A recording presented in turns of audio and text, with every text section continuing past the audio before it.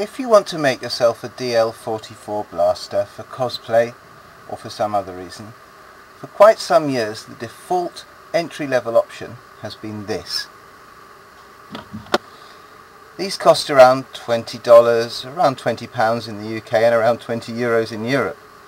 It's not too bad, but it does have one major inaccuracy. The scope is almost directly on top of the gun, and this is completely wrong. The original DL44 was based on a late 19th century handgun, the Mauser C96. This was loaded through the top and there's no way you could reload it if you had a scope mounted directly above the body of the gun.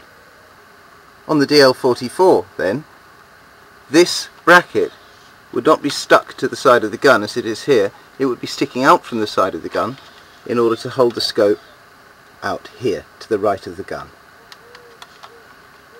You can get this looking quite reasonable. If it's just in your holster and you're already dressed as Han Solo, it's going to be pretty obvious what it's meant to be, and many people have been happy to take these along to cosplay events for years. However, recently, and at the same price, there is now a far superior option. For a very similar price, you can now get this 3D printed DL44. It's far, far more accurate with the scope being offset to the right side of the gun just as it should be. It has a moving trigger, spring loaded, and the hammer moves. There is one downside to going the 3D printed route however, and that is visible layers. The whole gun's like this to a greater or a lesser extent so you would have to put an awful lot of time into sanding it to get it absolutely perfect. The place where the layers are most conspicuous is on the base of the butt and around the trigger guard. Let's see how long it takes me to sand it down and get it looking ready for paint. This stuff really doesn't like to be sanded. When I got a bit heavy-handed I went right through it just there. So I think the only way to get this smooth would be to fill the thing and then rub that down. I'll try just doing a little bit. I did notice that the print lines or print grain on the scope were particularly conspicuous so I've coated the scope in a very thin layer of filler I'm waiting for it to dry now I'll sand it back and see if that gives me a better result than trying to sand the print lines out directly. This filler is now dry. I'm going to have to give it a very, very gentle touch. And let's just see if we can't get rid of at least the worst of these marks. I thought I might as well paint this blaster as well so that we can compare the two when they're done. The first thing to do with these is to fill the screw holes and cover this screw here which I've done with the head of a drawing pin. Then you have to break out the ends of the flash arrestor drill the flash arrestor and do something about the scope. I've made a small hole in this end you might be able to see that this screw goes across the scope just inside that aperture so I haven't made the hole very big. At the other end I've opened it right out. With that the orange and white one's ready to prime. As for the 3D printed blaster I put it out in the sun for the filler to dry and when I checked it after 5 or 10 minutes I was appalled to discover that it had started to warp in the heat. The bracket had started to bend and had actually torn away from here. So I glued it with two-part epoxy and left it to cool down in a bench vise for half an hour. Let's try sanding the parts I've filled. Well, once I've rubbed this filler down, it's gone really quite smooth. It'll be interesting to see how smooth it looks with a coat of primer on it. The 3D print lines are very much in evidence all over this piece, particularly on the underside of the heatsink in front of the magazine. I'll have to fill that.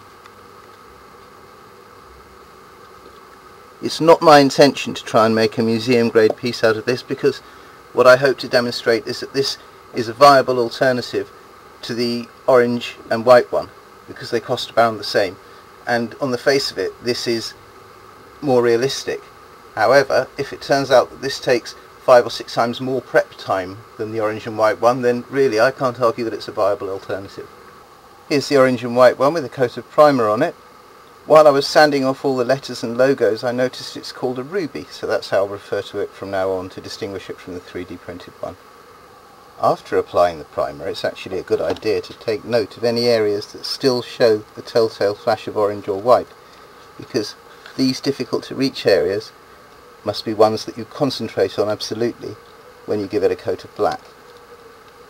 While I was priming the ruby, the filler was drying on the underside of the magazine heatsink.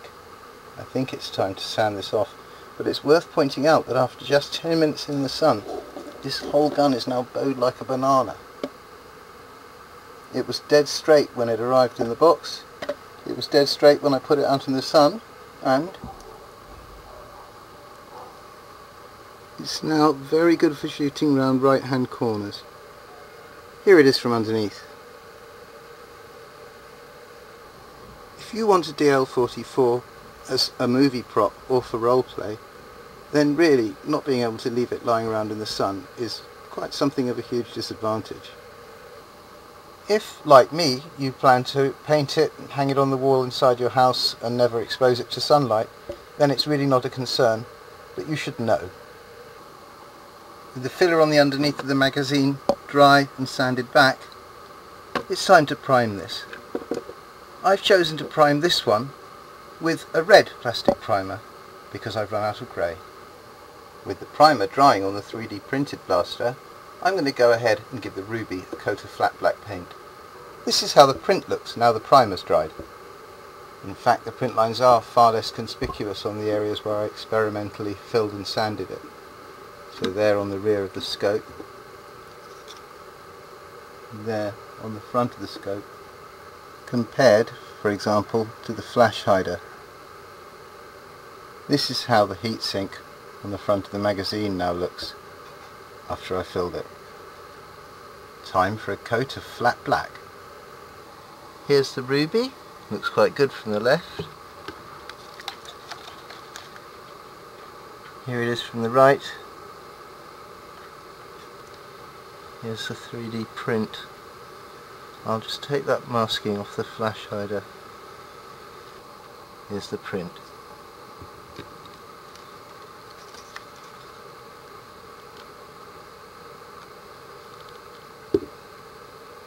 The ruby's ready to get some paint and the first thing I'm going to do is to mix some acrylic black with some acrylic metallic silver and make up a dark silver paint with which I'm going to touch up the flash hider. I'm going to bring out the highlights now using the dry brushing technique. There are so many videos on YouTube, even DL44 videos, which cover this that I'm not going to be doing it on camera.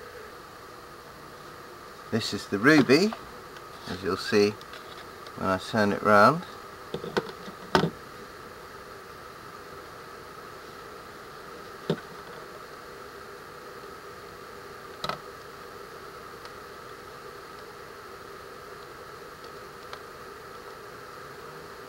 Hopefully that's enough, but not too much.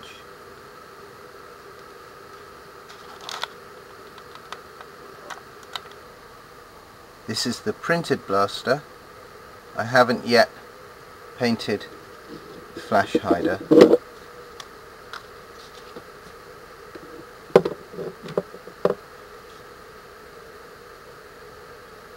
On Han Solo's DL44 I think this bit was made of brass and I'm certain there was a brass rim around the rear of the scope. Ruby first. Here's my attempt at simulating a brass component painted black in the factory and used for many years. Here on the ruby is my attempt at depicting the worn brass ring fitted to the very back of the scope. On the 3D printed blaster the piece is more accurately modelled. I'm not as pleased with the way this has turned out as I was with the first one. I've overdone it. But I can tone it down with a black wash. I haven't attempted to do the rear of the scope with a brass-like effect because I don't like these two marks. I want to do something to get rid of them. Here's a look at them both after initial weathering. The next thing I'd like to do is to glaze the scopes. Okay, brown painted grip panels. After that I can get on and glaze the scopes. This is how the grip panel came out on the Ruby. I did them pretty basically with just two similar shades of acrylic paint. On the 3D print I used two different brown shades of spray paint and then added a dark acrylic wash. I'm hoping that the mottled effect I've achieved here helps to suggest the surface of an old patinated piece of wood. It's time to correct an error I made right at the beginning. The 3D printed blaster actually arrived in two parts and I glued the barrel on. Unfortunately I did it upside down so the ruby's correct in having this little blob at the bottom and this is wrong. Usually I'd be quite irritated with myself but not this time because the barrel is so crooked that I'm glad of the chance to cut it off, turn it the right way up and glue it back on straight. Here we go. The barrel is quite a lot straighter and it's now the right way up. Next thing glazing the scope. Let's start with the ruby. Because it's not a particularly accurate replica, the hole in the front of the scope is pretty small. But I have an idea for that lens. I have here a broken pair of kids binoculars. They've only got one front lens, but if I unscrew this out pops this little thing which I think is about the right size for the front of the scope.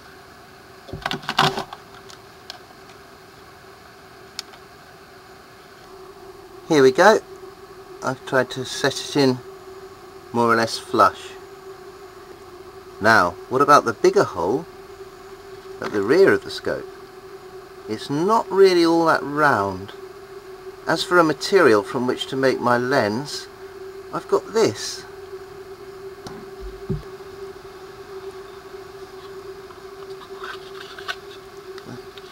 Clear styrene cassette box. Let's see if I can cut a circle more or less the right size. Here's the glazed rear of the Ruby scope. As you can see, I didn't cut it to fit particularly well, but it is nice and flush so I shall be able to cut a ring of styrene to glue over it to hide the imperfect join. I've marked out the shape onto a sheet of scrap plastic. I'll cut that out, bevel it, paint it black and glue it on. There's the scope and there's the eyepiece. Just needs painting. I've painted the ring black and brassy and with that I think the ruby is complete. What about the other one? For this one I intend to pull out all the stops and use the big front lens from the pair of Charles binoculars that I've got.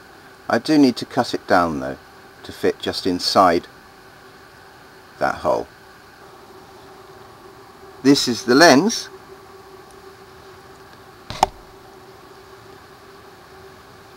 It is actually an optical lens as you can just about see there and I've cut it down concentrically so that it will hopefully glue neatly into there. Well I have glued it in place and while I'm waiting for the epoxy to go off I'm going to turn to our trusty friend the cassette box which provided the rearmost lens for the Ruby's scope and cut a smaller lens for the front of the print scope. I managed to get the rearmost lens in without getting too much glue everywhere and I like it because it does look like you're looking through a scope. It is a lens, not just a flat piece of polycarbonate sheet. So now to glue the small flat lens onto the front. Here you can see how I've marked out a rim for the rear of the scope and cut out one for the front just to tidy up the junction between the lens and the tube of the scope itself. How do they compare? Here we have the print on the right. You'll notice that for example it has the original Mauser's fitting to accept a shoulder stop. There's no denying that this looks more realistic but we have to remember that to get it to look good close up would take an awful lot of work due to these print lines while the ruby of course being injection moulded has excellent surface finish quality.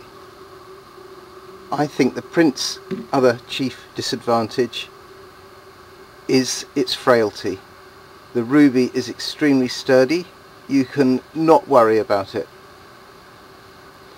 This you have to mollycoddle a little. You can't leave it in direct sunlight and bits will get snapped off far far more easily than they would on the ruby. Ultimately the choice is yours. They cost around the same to buy. It depends on whether you want realism at a distance, good quality surface finish close up, realism at the price of strength and robustness. A huge sacrifice in realism, but the thing's cheap and quick to prepare. For my part, I can confirm that if I ever want to go out and about and take a blaster with me, it'll be the Ruby I'll be taking because I won't have to worry about its well-being the whole time. The 3D print can live happily on the wall at home in the exposed barrel automatic section of my gun wall. When I began this comparison, I was heavily biased against the Ruby and in favour of the 3D print because the Ruby does make those compromises in terms of scale realism with regard to the position of the scope relative to the rest of the weapon. However, I now see that it's horses for courses. Each has strengths, each has weaknesses, they cost around the same, and ultimately, it's up to you. So, thanks for watching.